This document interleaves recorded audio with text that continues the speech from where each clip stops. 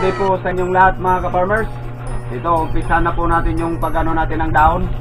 Kasi gabi na. Saka masyado tayong ano, hindi tayo nakapag-content ng ano, kuha natin ng nyog sa pagkuha ng dahon. Kasi biglang umambon. Saka ito na lang, dito na lang tayo. Hindi natin alam, baka nga umulan kasi ang kapal ng ano, kapal ng cloud. Hindi natin alam kung ano tawag sa Tagalog ng cloud. Kaya cloud na lang itawag natin. Yan, sana po natin. Ang ganito kadami nasa ano ito eh. Nasa 10 kilo ang maluluto natin ito. So hindi natin to binili. Eh, iningi lang natin to sa tiyahin ni Pangpang kanina. Iningi lang natin to. Bila kasing luma, malakas yung ulang kanina eh. Kaya hindi natin na ano, nakunan. Yung video, ah, yung camera kasi natin na bago, hindi natin alam paano gamitin pag nakakabit yung waterproof. Sana po natin.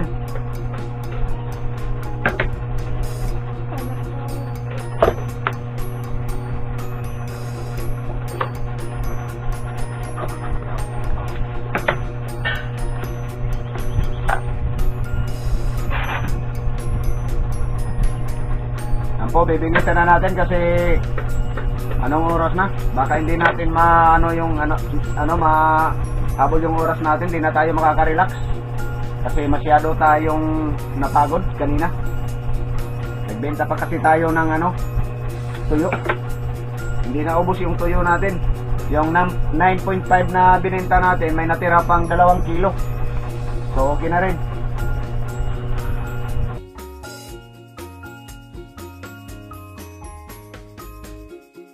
Magandang gabi po mga ka-farmers. Malapit na po matatapos si Papa ng paggawa nito. Ito, sobrang ganda niya. Ito, ito, sobrang ganda niya. Tingnan niyo, ano? Sobrang ganda niya.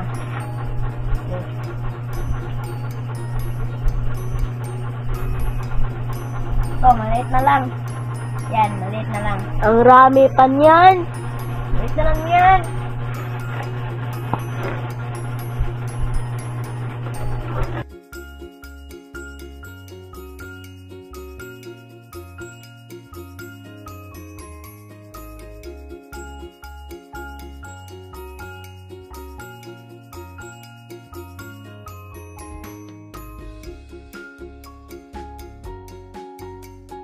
Po mga ka-farmers, so umpisahan na po natin pag-pitch ng dahon. So matagal-tagal pa to kasi madami. Tagal pa to matapos.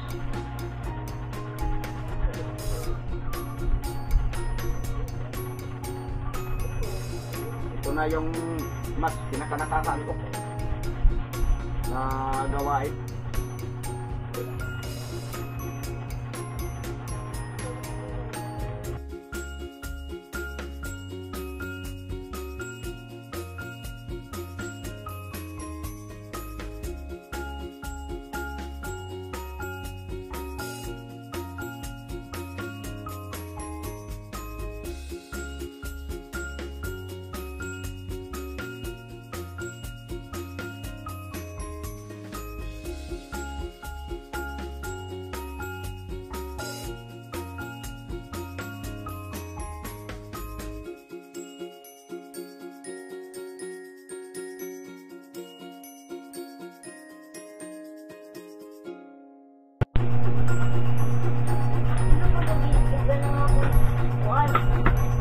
Ayan po mga ka-farmers, malapit na po tayong matapos. Yan, konti na lang, marami na yung nagupit natin. Binilisan po natin. Kasi para makarelax naman tayo.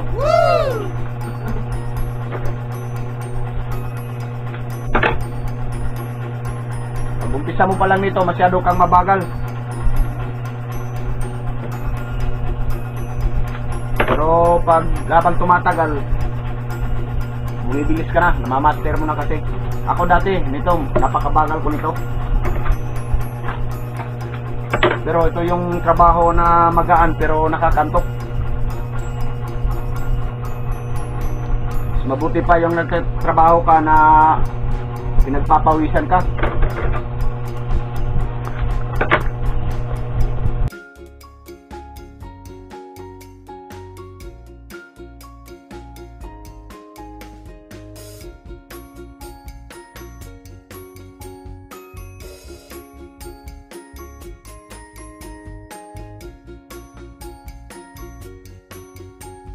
Ito po mga ka-farmers yung linis ko na buko. Ito. Linis ko to. Ito siya mga ka-farmers. Ito. Siya.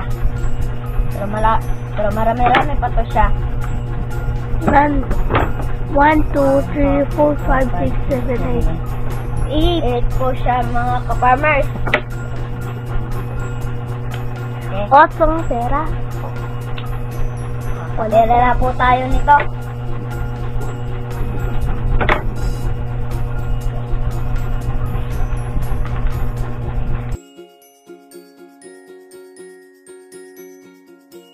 Bago nga po pala ito ginupit, pinunasan muna ito.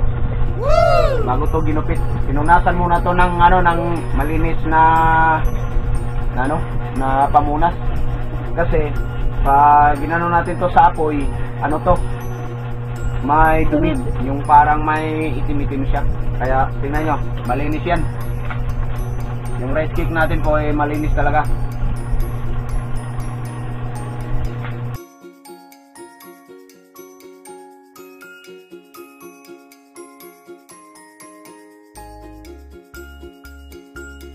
Tabi ka dyan.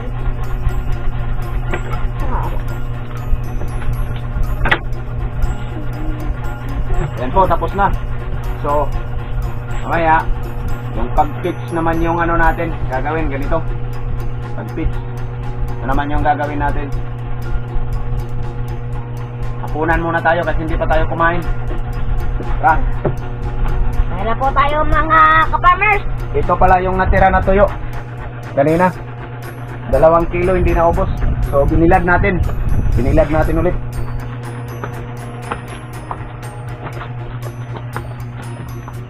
Ah, yan na.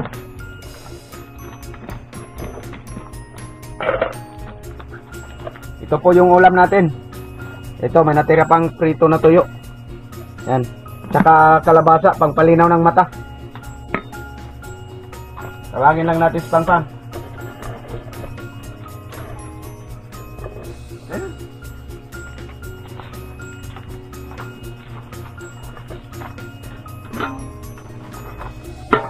Yan po, yung ano nga po pala natin, yung lamesa natin maliit. Hindi kagaya ko, malaki. Malaki yan. Ito na po yung sobrang cute naman yung mesa natin mga ka-farmers. Ito, sobrang cute naman. Yan po, busy pa po si Pangpang, so mauna na lang ako kumain.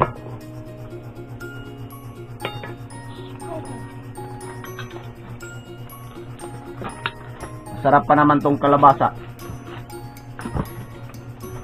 Ito yung tanim ko dati. Na kalabasa. Suprema F1. Yan kasi yung magandang variety na kalabasa. Tsaka yung ano pala, yung may nagtatanong dyan na kung anong variety ko na ng talong. Fortuner F1 yun. Bago yun. Bagong variety yun. Hindi yung katulad nung long purple. Yung variety na long purple, madali kapitan yun ng ano, ng sakit. Kaya, hindi na tayo gagamit ng long purple. Y- yung mga bago na variety yung gagamitin natin. Gaya nung Fortuner. Fortuner yung ano ko. Tsaka para lang sa ano, mga gustong matuto dyan, magdidemo ako. Bubuksan ko lang yung ano ko, yung may binhi pa naman ako dito. Bubuksan ko lang yon tapos magdidemo ko para makita nyo kung paano magtanim ng ano, paano magtanim ng talong na tamang proseso at saka kita no, kita nyo naman yung hibiscus talong, di ba? Malalaki tsaka mahaba. Tsaka tamang tama yung pag-aalaga ko.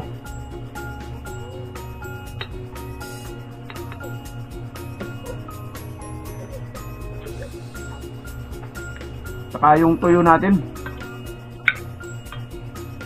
Medyo maalat. Hindi kasi ako masyado manos maalat.